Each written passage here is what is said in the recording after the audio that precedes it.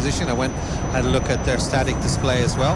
On the left. And there it goes, up into the sky. You can see a very distinctive shape of the JF-17, the Pakistani Air Force.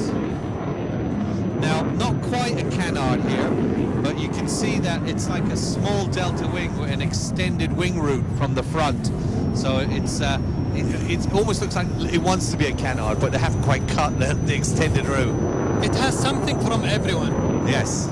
يعني هاي الطيارة سادة الكرام فيها شيء من أغلب الطائرات تلقى الجناح تقريبا يشبه تقريبا بين الاف 16 وبين الاف 18 بدل الطائره تلقى يقترب من طائرات مقاتلة أخرى مقدمة أو خشم هذه الطائره أيضا تحسبه يشبه الاف 16 ماخذة من كل من كل طائرة خاصية هي طائرة مقاتلة متقدمة من طائرات الخط الأول كما يحب الباكستانيين أن يروجون لها.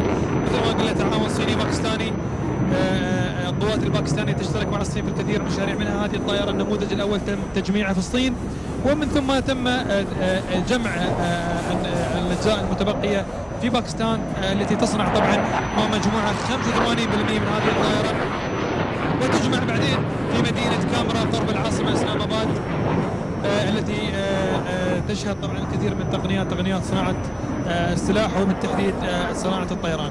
شاركت العديد من التمارين الجوية مهام الجو جو مهام الجو أرض ومهام الجو سطح البحرية أيضا تستطيع الطائرة حمل مجموعة متعددة من الأسلحة مثل الصواريخ ضد السفن والكثير أيضا من التسليح أو الذخائر المتعددة الأخرى. So uh, we just saw the Gripen earlier on, and that uh, has pretty much the same power weight ratio here, just over 11,000 pounds of thrust from uh, what's in effect a Russian engine, a, a Klimov uh, Audi 93 afterburner, and uh, as Khalid was saying, it's uh, it's a bit of everything. Like they said, the Russians were also involved. we were told in the development stages, but mainly it was the Pakistani and the Chinese coming together. They had a, a use for uh, a particular type of aircraft and they designed this as we can see. Uh, not very wide, it's about just under 10 meters wide. It has uh, wing tips for missiles as well, where you can put your uh, sidewinders or equipment on them. Uh, G limit of uh, 8 down to minus 3 G. internal fuel capacity just over 5,000 pounds, which is uh, not particularly good, but it can do ferry ranges uh, in excess of 1,800 nautical miles. Maximum speed of uh, 1.6 Mach. إذا طائرة متقدمة سادة الكرام مثل ما قلنا باكستانية ولكن بلمسات صينية متقدمة يقول الباكستاني إن هذه الطائرة آمنة تماما لدرجة إن هذه الطائرة لم يصنع منها نموذج تدريبي يحمل مقعدين يعني قد لا تصدقون ذلك ولكن هذا الواقع. الباكستانيين ما صنعوا للحين نموذج ذو مقعدين ويعتمدون في تدريبهم على طائرة من أو ذات مقعد واحد.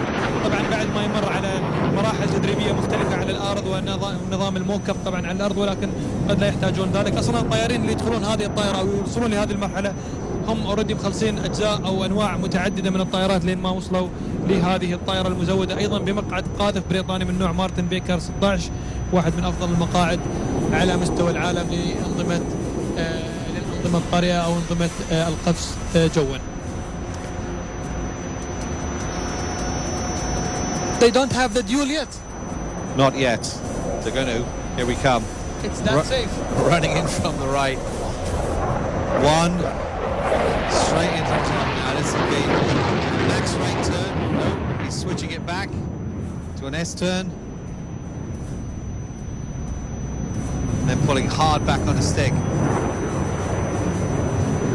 So plus 8G is the maximum G load on that, so that circle will be a little bit wider than the stuff we saw with the Gripen and the Rafale, which is up to about 9 or 10G on the on the G meter, I would think.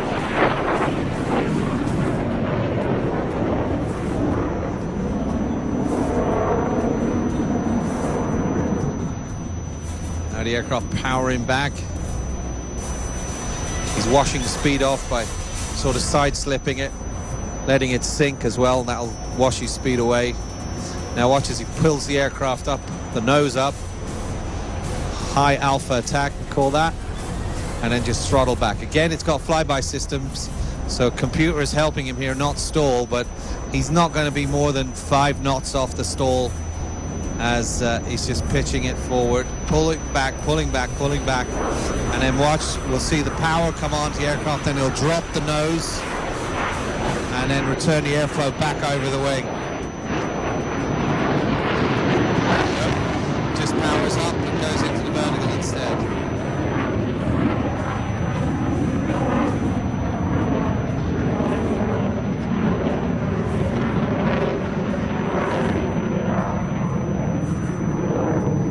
And then over at the top and light the candle as he comes back down. Now, this aircraft uh, serving, as we said, with the uh, Pakistani Air Force, but also receives service in Nigeria and uh, with the Myanmar Air Force as well.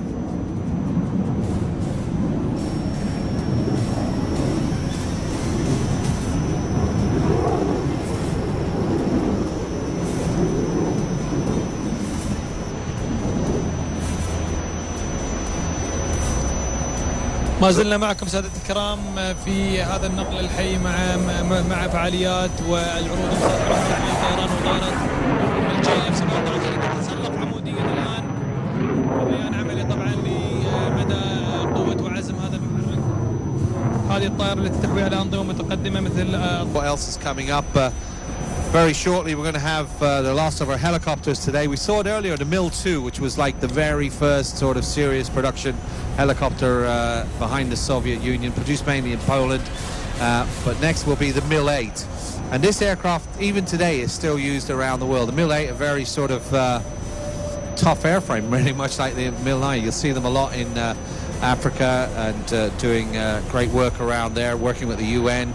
And uh, the Mil brand uh, is sort of synonymous with its a robust, uh, round the world uh, airframe and simplicity of engineering as well. After that, the uh, F-16 is coming back.